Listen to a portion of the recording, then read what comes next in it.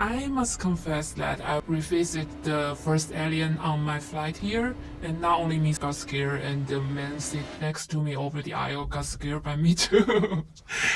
and last night I saw the this one for the second second time. I still like this. And what's your trick to scare people in a time that it's not that easy to scare people? No, it's not easy to scare people, is it?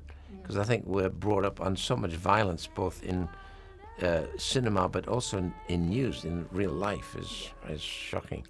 Um, so it's much more primordial. You've got to look back into what scares me the most. Deep down, it's an emotional thing, where it begins with the heartbeat, where you feel uneasy. Then there's this unease that evolves into fear. You may not see anything, but you sense it. That's that's hard to do. So the answer is I really don't know. I just do it. what happened here? I saw the original Alien when I was 10 years old. That traumatized me. What was the first ever question you asked really about this film? Um. Did I get killed?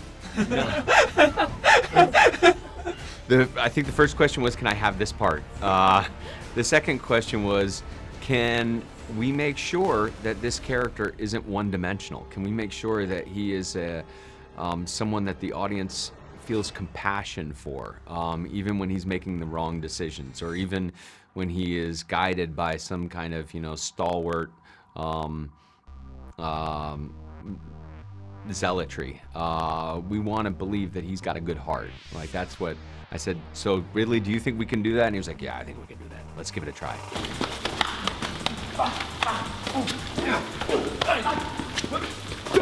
Do you really get paid double? Yes. Really? Pretty much. and what was the most frequent question you ever asked Ridley on set? Am I gonna get paid double for this? and please say yeah. no, I you know I think just uh, constantly sort of you know sitting uh, in the tent or you know watching the setups or where he puts the cameras or how he, um, you know, why he would do a scene a certain way or how he prepares something, you know, all the time trying to uh, get information from him. But it was it was very fun to play that stuff, you know.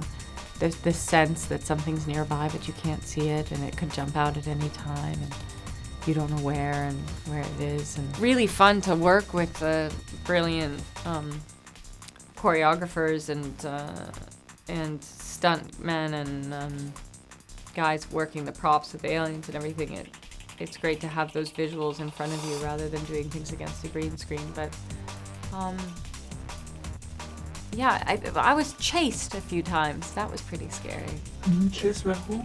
By an alien. Mm-hmm. Um, and I was in a big, heavy spacesuit, so it was hard to move quickly, and mm-hmm. that was really visceral for me. Like, and to feel that I'm trying to get away and I can't get away quickly.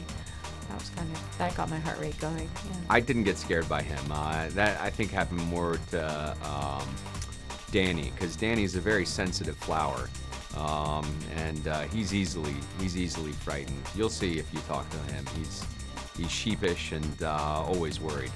But other than that, no, I was totally strong, never scared of anything. Mm, so did you scare about the, the monster or? Nah, it was not a big deal to me. But Danny was crying like a little schoolboy. Um, yeah, and Michael too. Michael was in tears most of the time, but not me. No, I felt strong and capable and in charge. Don't listen to Billy. He's uh, he suffers from. Um, yeah, that um, uh, because he's constantly drunk. Uh, uh no, uh, and he's uh, you know yeah, he just likes to lie. Mm-hmm. But I was crying a lot, that's true. I get quite emotional. Because Billy's a bully, if you want to know the truth.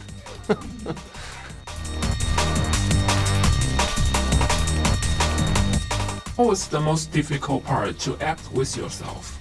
You know, I guess it's, it's a little sort of lonely in some respects, but to be honest with you, I had such a good. Um, a guy that was playing the other parts with me, Tom O'Sullivan, and he was sort of opposite me. So when I was playing Walter, he was David, and vice versa. When I was Walter, he played David, and uh, um, it was uh, it was great because he really took on the physicality and the mannerisms and the attitudes of the character. So he was a great help to me. He helps a lot, especially you need to look like you really touch yourself, right? That's right. Whereas really, I was touching Tom. Okay. And Okay. imagine it. That's right. That's right. That's right. This role you kind of emotional restrict. And did you need to stare in character between takes, or you just need to relax and have fun? Exactly. Relax and have fun.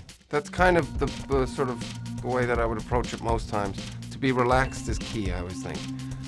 Um, and if you're having fun, that's you know I love that. You know, when you have a set which is you know people are, are you know making each other laugh. It's uh, it's just nicer working environment. So yeah, we had both of those in this. It was a lot of fun filming it. One of my favorite things that happened was um, I was in a big scene and it was a big wide shot and there was like dust and everything was getting in our eyes and just, you know, it was just very chaotic. Were, they had massive fans blowing all this dirt on us and we were running as fast as we could, lots of gear and everything.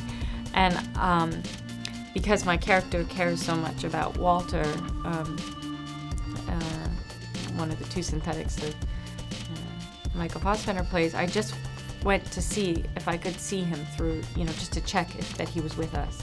And I looked to my left, and in the distance, I just saw him sprinting, but he'd made up a robot run. And I'd never seen it before. And it was like these perfect 90 degree angles, high knee kicks. And I nearly broke, I nearly burst into laughter, you know, because it was this intense moment. And I look over and he's just doing these very sharp movements. And it was so brilliant. And um, yeah, so uh, he, he did a lot of really fun, surprising things on set that were really great to witness. On set, I'm usually pretty funny, actually. And the set usually is kind of pretty great fun. Uh, But all these actors are so professional. We all know exactly what we're doing. And I think it's, uh, it's really about talent, you know, because you can have someone laughing and joking before a take. There's no need of this prep in the corner saying your mother's just died and your cat's dying and all that stuff. We don't do that. Uh, and they'll say ready and they go ready and they come and they just go do it. It's really about the talent. So I, I take a long, I, I'm very careful about who I cast and why. Take on quick as I can. Are they? Yeah. Well, Ridley has what I would say is one of the most extensive vocabularies for cinema. That is to say, he understands the way not just story structure works, but not and not just character development, but the way that you light something properly, the way that you use music to build um, build tension. And when you have that kind of resource, your days are, are very efficient. So he knows, I need this, I need this, I need this. This is where we'll use this. That's not important. I'll never see that. And that gives you a tremendous amount of confidence as an actor about where you can plug in the most important parts of your character. It came out of frustration that no one had asked the four key questions. What was that ship? Why was it there? Who was the space jockey? Eggs in the were a cargo. So what was this? A battleship? And what was the creature? So that's six question. Never asked the question. So I came back thinking I'm going to come at this from a different direction, and I can resurrect the whole idea. He's beautiful. Mm, yes, definitely. and were you like a tech captain or a leader on set as, as well? Uh, no, no, uh, that's Ridley. Ridley was the captain and leader uh, for sure. He he's somebody that you he, he has an, an infectious personality. You know, um, he's charming and uh, full of energy and good humor, and um, also his work ethic is. Um, is top of the line. So you feel inspired to work at the level that he's working at. So you follow him for sure. It was amazing. The whole cast saw the Bay together um, for the first time. And we were all just like, eyes were darting around the room, like, can you believe this? Can you believe this? Everybody was so excited. And um, yeah, it's so surreal because we know these environments very well. We all, we're all fans of the other films. So it's really um, extraordinary to then find yourself in in that world that you you're so familiar with. You know. awe, awe that um, that Ridley and his team are so capable of creating an entire world that is thoroughly thought through and uh, built with expert craftsmanship. Um, it just it makes you so grateful to be a part of people with that kind of ingenuity and ambition, and you want to just make sure to live up to it. Nice drawing. I think we've seen a lot of that. Yeah. See, I didn't start in the beginning. I started in the middle because when when I'm preparing, they usually want to know the most important, the big sequences first, to get uh, that to digital effects company, so they can look at boards and see the intention, or to digital animation because once I draw, then digital animation will take it over. I think it was the platform sequence where she is on that platform and the alien's on the platform. I began there. So I was like three quarters into the movie, but I just started there because by drawing it, you, each scene is somehow separate from the rest.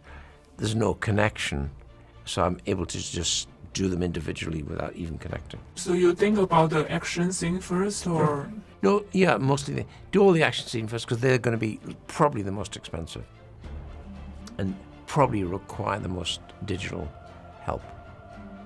So the sooner you get that in the better because digital work can take months. It's so weird, but it's all so much fun that even if something's like hard, it's a good kind of hard.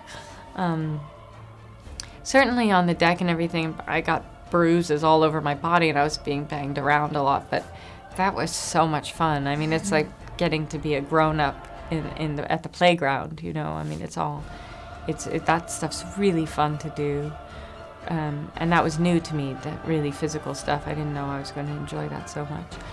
Um, but even like the very sort of intimate moments and the emotional stuff is also it's a challenge, but um, but really gratifying and fun to do too. I mean, the whole thing was really fun to do.